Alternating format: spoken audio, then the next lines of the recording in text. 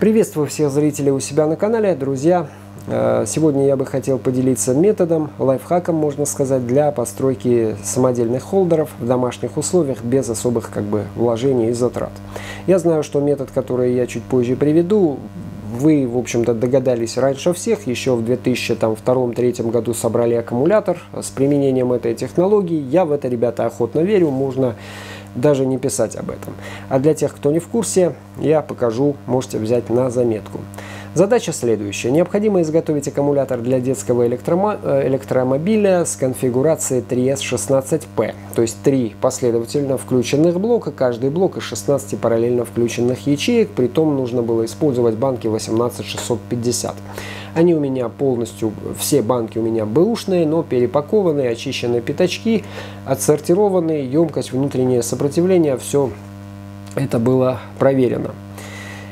Э, стал вопрос именно э, связанный с тем, как их соединять. Ну, по крайней мере, три основных варианта есть. Это взять и включить их, по...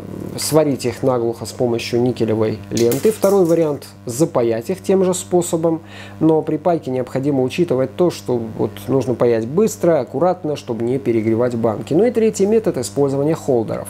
Холдеры удобны тем, что в случае проблем не нужно будет разбирать всю батарею, можно достать одну ячейку, там проверить, заменить, обслужить и поставить опять на место именно на этом варианте я остановился. Конечно же, можно купить холдеры с Китая, но в моем случае время было ограничено на сборку батареи. Там у меня 3-4 дня, а с Китая это все идет долго. Ну и во-вторых, у меня 48 аккумуляторов и 48 нормальных холдеров. Это достаточно дорого. Есть, по крайней мере, на Алиэкспресс два вида холдера. Те, которые с пружинкой подешевле, и те, которые нормальные, они уже подороже стоят. В итоге решил попробовать сделать э, нечто подобное дома. Э, чтобы было с минимальным, так сказать, колхозом. Ну, батарея, опять же, повторюсь, довольно продвинутая. Есть доступ ко всем э, аккумуляторам. Можно по отдельности индивидуально доставать, проверять. И плюс ко всему у меня здесь э, каждая ячейка через предохранительный провод будет подключена к основной токоведущей шине. Это если в случае, допустим, проблем с одной батарейкой, либо с перег... будет перегрузка какая-то, это вот предохранительная шина сгорает. Точно так, как в любых серьезных больших литиевых сборках. Значит, напечатал на 3D принтере. Кстати, для этого метода не совсем обязательно иметь 3D, 3D принтер. В общем, основной метод заключается именно в изготовлении контактов, а не корпусов.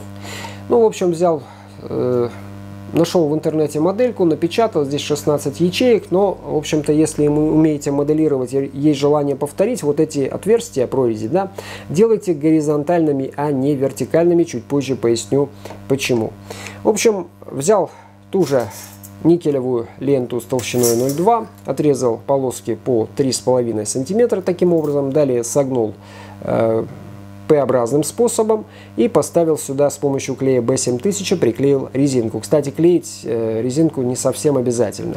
Резинка это на самом деле силикон от коврика для пайки необгораемого, вот он вдали находится.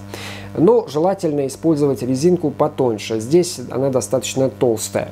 Взамен, конечно же, толстая резина это более плотный контакт, более хороший прижим. Батарейка вот уже вставленная, никуда не вываливается, даже без дополнительной фиксации можно эксплуатировать. Вот таким вот образом выглядит. То есть вот она резинка, идет это все в прорези, здесь сгибается, эта часть уже залуживается залуживается тоненьким проводником, э, рассчитанным на срабатывание сгорания при определенном токе, соединяется к основной токоведущей шине. Недостатком именно данного исполнения заключается в том, что у меня резинка довольно толстая и так просто поставить и вынуть батарейку, как в случае заводского холдера, не получится. То есть нужно приложить определенные усилия и, вероятно, понадобится какой-то острый предмет наподобие отверточки. И еще, когда вы вот вертикальное расположение вот этих пазов, э, это не совсем удобно, потому что батарейка зацепливается за острые края. Если бы они были э, расположены горизонтально, то со, сколь... со скольжением батарейка бы была установлена. Вот это тоже недостаток. Можете поменять в модели, если умеете э, моделировать. Я этого не умею, поэтому ограничиваюсь тем, что есть.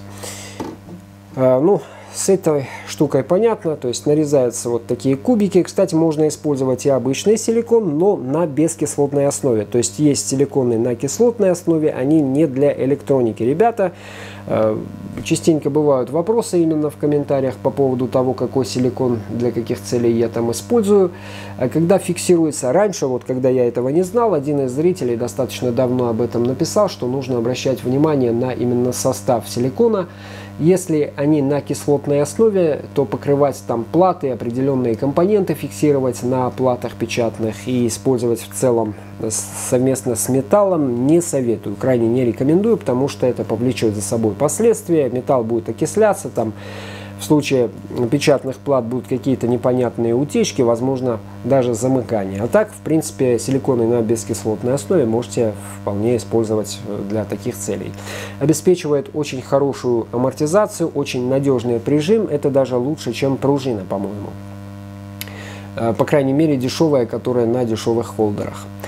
На этом, друзья, все, пожалуй, да, ничего не забыл. Ссылочку на модель оставлю в описании. Если данное видео вам понравилось, можете оценить его, подписаться на иные мои ресурсы. Все ссылки будут в описании. До новых встреч, пока!